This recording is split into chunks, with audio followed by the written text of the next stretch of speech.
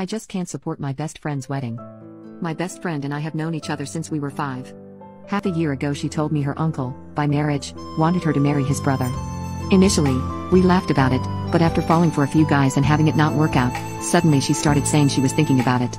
To make things weirder, his brother lives in another country, doesn't speak English, is much older than my friend, has never been in a relationship, and doesn't know her at all.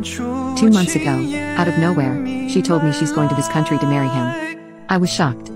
I asked her why she wanted to do this, and she said she just wanted to be married. Though all of her family and friends tried to persuade her not to do it, she took off, telling us she'd at least be getting engaged, but the marriage could possibly be happening next year once he's immigrated. After getting there, she didn't message me at all or let me know what was happening, until a month had passed when, last week, she told me they were finalizing their papers. When I asked what papers, she said their license to get married. They were to be married without any of her friends slash fam present.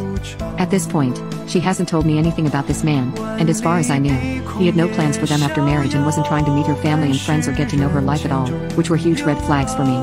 While I was trying to be supportive of my friend, I couldn't understand this situation and was concerned for her safety and the finality of this situation. After she told me about this, I made a last-ditch effort to stop her from making this decision, and told her that while I loved her and she was my best friend and I'd always be there for her, I couldn't support her decision in getting married in this way, away from friends, family, secretively, in a country she doesn't know and to a man she doesn't know. Two days later, I got a text from a mutual friend asking me if she was suddenly married and what was going on. I checked my Instagram but saw nothing, and realized she'd blocked me, and got married without letting me see it or be a part of it at all. I confronted her about blocking me the next day, to which she responded I was an unsafe person and she didn't want me causing her anxiety, and she blocked her mom for the same reason.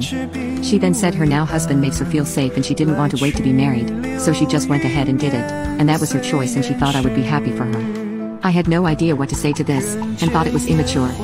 Now, she is supposed to come back and stay with me for a few days, but I can't bring myself to want to talk to her after she did this, blocked me and said the things about me she said. Is what I said deserving of her completely blocking me out?